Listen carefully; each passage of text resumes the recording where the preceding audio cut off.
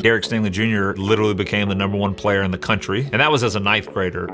As a 14 year old, started having articles written about his talent and his ability, and all of it was positive. All of it was talking about how great he is, how great he's going to be the more accolades he received, the more humble and gracious he got. I don't really think of him as like a famous person unless people are like, oh, that's Derek Stingley's sister. Forgot that almost half the state knows who he is. I don't see what other people see. He's just my brother. he don't look at it as I'm better than the next guy. He would probably give his teammates more of the accolades on why he is who he is. It's because of them. When you're the most talented player in the locker room, but then you're the hardest working player in the locker room, that just raises the level of everybody.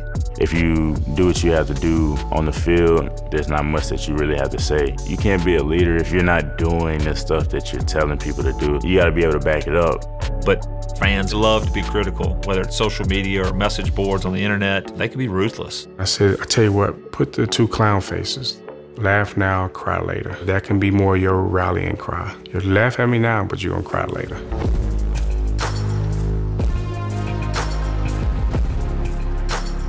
Baton Rouge is very country. The food is amazing. We got a lot of seafood, a lot of spicy foods, and sports, football, like all of it. That's a big part of Baton Rouge growing up in Baton Rouge for most of our kids, they just have it kind of bred in them naturally that they're going to go play football. My first memory of football was really in our backyard at home, just putting the football on the kickoff tee and just kicking it off that into the fence. Growing up, watching football has always been a thing in the Stingley home started playing arena football and then to the Jets and the Jaguars on the practice squad and went back to arena. Then I became coach in arena and that was basically my life. Football, football, football. Practicing with my dad's team in arena football and having to put on full pads, I feel like that's when I really started to like football. He became serious about it. It was all on him. There was plenty of days he would get me up and say, hey, let's go out front, let's go out back. So it was all of him. I got introduced to Derek Stingley Jr. He was just 13 years old. He was going into the eighth grade, so we weren't ready to put him up with the varsity yet, but he did start training with our varsity guys. And the very first day, I mean, he just impressed everybody. He was a little guy. He was, you know, super skinny and short, but he was the smoothest athlete out there. I never had any self doubt about anything as far as not being able to deal with the speed or being able, able to play with everybody. When we started the football season, he was with our middle school team. Every time he touched the ball, he scored a touchdown. Any pass that was thrown, he was intercepting it and just making devastating tackles. So we actually moved him up to the high school team as an eighth grader, and he was playing with the seniors, the juniors, the sophomores. He was playing with all the older guys. I never thought that I was just smaller or weaker than everybody else. I, I just was paying attention to me, so I was just doing what I could do. Derek experienced immediate success. The athletic ability you could recognize, you know, pretty quickly. But as he started to get a little bit bigger, a little bit faster, a little bit stronger, you could really see it start to take shape. Not just being a great athlete, but being a great football player. Got his first offer at 14. Then he became the number one player at his position at 16. Gatorade Player of the Year in Louisiana, first team All American. Derek got offered after his ninth grade year by Coach Miles at LSU, and so that was kind of a big deal for a freshman to get a scholarship offer. We're obviously in LSU country, so pretty much wherever you go, you'll see something that involves LSU. They love football. When I got the offer from LSU, it kind of just made me be like, okay, I can actually do this for real, like at the next level. I committed on spot. I wanted to be a Tiger. The other offers started rolling in. Then, then I started realizing that this is kind of like a big deal. Every SEC school is going to offer him, you know, LSU, Alabama, Florida. And he'll have like a stack of letters from different colleges, like this tall. It was just like kind of annoying because we'll get so much letters and I'll think like, oh, I finally have something. And I'll be like, nope, it's just Derek. he knew if he was playing at LSU, you would have family and friends waiting for you to walk out of that locker room, and that meant a lot to him. Being raised in Baton Rouge, just being in the community, I mean, I, I don't see anything that's, that's better than that. Our school has little three-year-olds, and when they would see Derek, I mean, he was a celebrity on our campus, but they'd run up and jump on his back. He'd give them piggyback rides. He'd high-five them walking down the halls. Those kids, they're not going to forget those type of moments. I think that they really enjoyed it. I definitely did. He spoke to a group of youth football players at a camp that we had here, and they asked him, Why aren't you going to Alabama? Alabama's number one. He immediately said, Because I want to be able to play in front of y'all. For him to have that on his heart immediately, it wasn't a scripted thing, I thought was pretty special.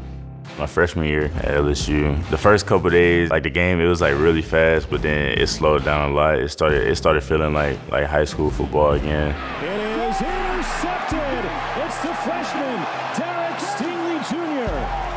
He becomes first team SEC.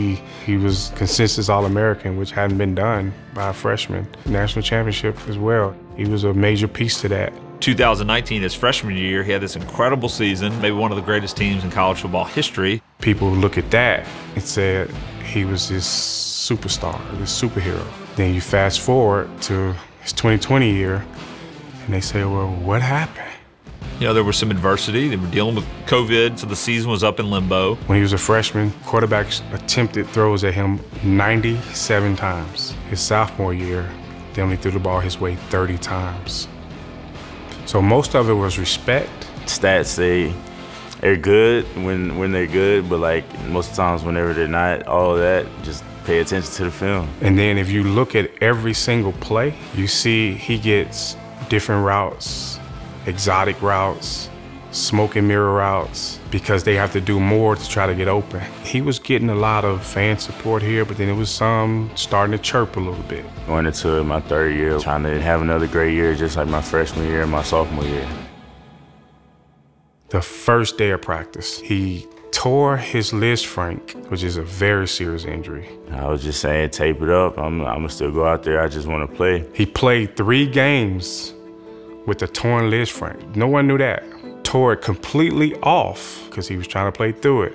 Couldn't play no more. It was the first time I had like a like a serious injury. I didn't have that same like power that I that I wanted. It was tough. It was tough. Nobody really had any idea that he was dealing with a really serious foot injury, and he was doing everything he could to battle and be out there. We just said he had a procedure done on his foot, and he's doing all he can to get back on the field to be with his brothers. Derek loves his teammates and he loves his school. He didn't want to opt out. He didn't want the LSU fans to think that he wasn't doing his best. And I think that puts a lot of pressure on anybody, but especially a young man. Fans, they're gonna say they're gonna say whatever they, they want to say. They have no idea what we do on a daily basis or what we put ourselves through or what we push through. Everybody who's who's around me or sees me every day, they they know what I do. They know I push through whatever I can. I just know that he's been like working hard, like really hard for something that most people haven't seen yet. It's what I always say about 1090. Life is 10% what happens to you, but it's 90% how you react to it. 1090 is definitely a big thing in the Stingley household. Life is going to come at you in millions of different ways, and it's up to you of how you're going to react to it. If you react to it in a positive way or a negative way, whatever the outcome is, is because of you. He would always ask me my thoughts or if I can help with a tattoo concept. The very first one was on his forearm. It was a stopwatch. It had fire coming out of it. The time is set on his birthday, June 20th. We did some roses on it, and then we did put a ribbon right there that we was gonna put a name in there. But I said, leave that one blank. You might wanna put your firstborn child name in there. I personally like the DBU because I just think it really pops because it's red. when I saw it, I was like, what, what is that? And then he told me, I said, oh, okay. It's saying something. The one I actually drew is this one that's on his chest. He wanted this Bible verse in it. We drew a tiger head and his number 24. And the doves just represent peace of mind.